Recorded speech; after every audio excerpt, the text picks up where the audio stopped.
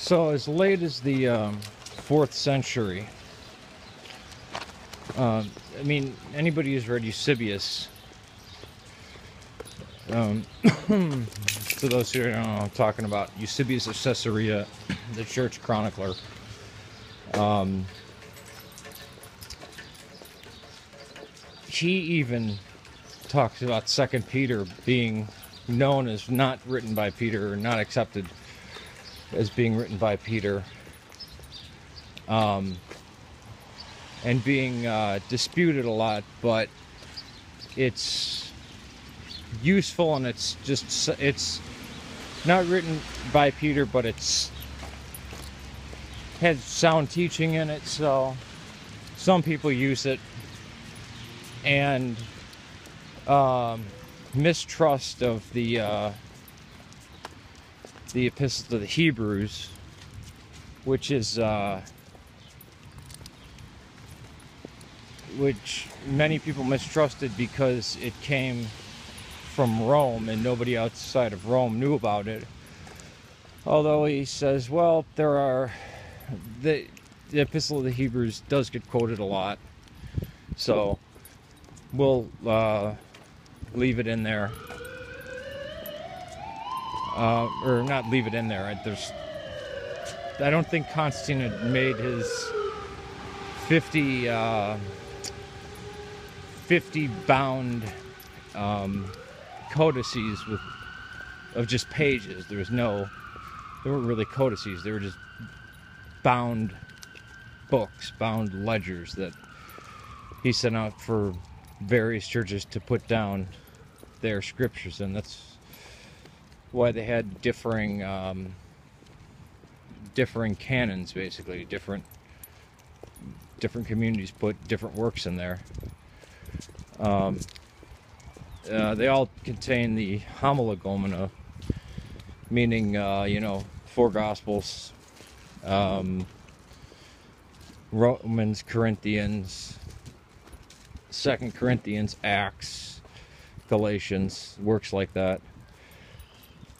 Uh, but he he also speaks about Hermas that uh, Hermas was still being read in churches at the time of um,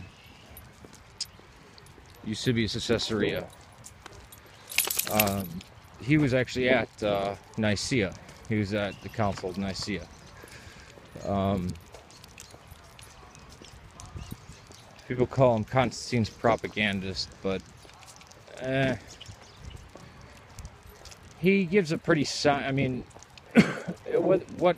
No matter what you think about him, he talks about what was going on during that day and age.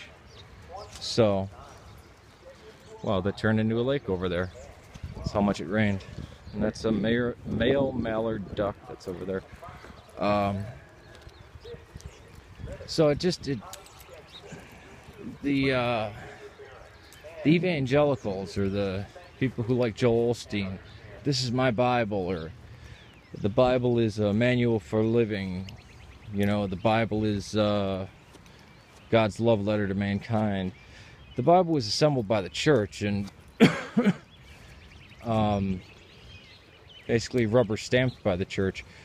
The Eastern churches still do not read the Apocalypse of John in their services, in any of their services, because again, it was too late and everybody knew John, the, the Apostle John, died in Ephesus, so this John of Patmos was somebody else.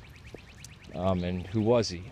Not to mention that it, the first seven letters, many critical, uh, critical biblical scholars um, uh, have pointed out that uh, the seven letters seem to be anti-Pauline. In fact, they're I don't want to say explicitly anti-Pauline, but there you go. They, they look at uh, read the letters of Paul and even read Acts and then read the first seven letters.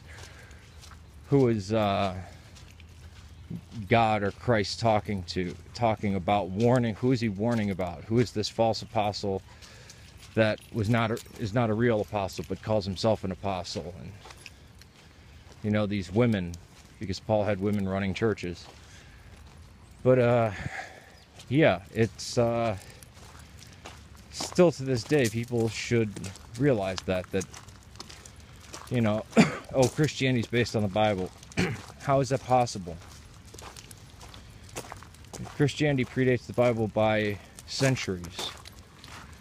And it was the church that gave its that well wrote all the texts of the New Testament and that's where the authority comes from and they're the one that compiled it. That's why we don't have the apocalypse of Peter.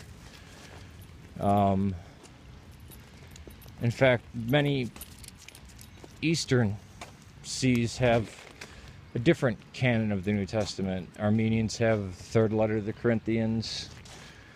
Um, Ethiopia has, I believe they still have the Protevangelium of James. Uh, some of the uh, codexes that were believed to be um, the 50 that Constantine had sent out. Uh, Sinaiticus and Vaticanus, I believe, have uh, the Didache and Barnabas, the Epistle of Barnabas in there. But yeah, uh, you know, you see the Muratorian fragment, you know, and there's dispute about second, third John, second Peter. This is coming from the 150s. But there's still people. I mean, Eusebius. It's not really a lightweight saying, yeah, Hebrews, hmm, meh. And the same with, uh, he actually calls out, he says that there's only one writing that Peter wrote. The rest are spurious. The one known as Second Peter was not written by Peter, but doesn't have anything really heretical in it, and it's in accord with the teaching of the church. So go ahead. You know, you can read it, and it's read in some churches, but everybody knows Peter didn't write it. Um, I never believed that Peter wrote anything except he had, I believe, if he had influence on uh, Mark, at least uh, the earliest portion of Mark. But I believe that uh, First Peter was written by the authorship is correct because I believe it was written by a disciple of Peter. In which case, it would be forgery if the disciple of Peter put his name on it because it worked the opposite way back in those days just like the pastoral epistles. Were they really written by Paul or were they written by a student of Paul? It doesn't matter because it's still Paul's theology. You could actually argue that the epistle of Barnabas is a forgery and it should be attributed to Paul. I actually believe Barnabas wrote the epistle of Barnabas, or the epistle of Barnabas. But it's saturated with Pauline ideas, Pauline thought, I should say. Um, but yeah, the fundamentalists, the evangelicals, and basically almost all these Bible-based churches. I mean, it's ass backward a Bible-based church. You're basing a church which the Bible tells you already started a couple millennia ago, and you're going to use the scriptures which they just they saw fit to have read in church. Not all the scriptures that they read.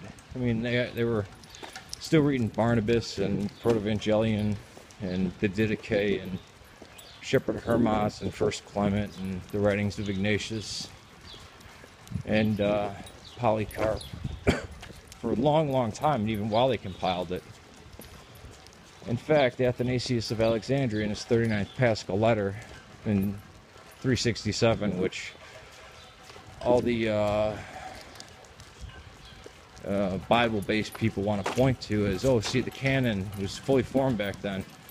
He actually tells his uh, the, he actually tells the readers before you even read anything in the New Testament, in these, these 27 books, make sure to read the Didache, the Epistle of Barnabas, the Protevangelium, and he goes through. I think he says the Acts of um, Paul and Thecla.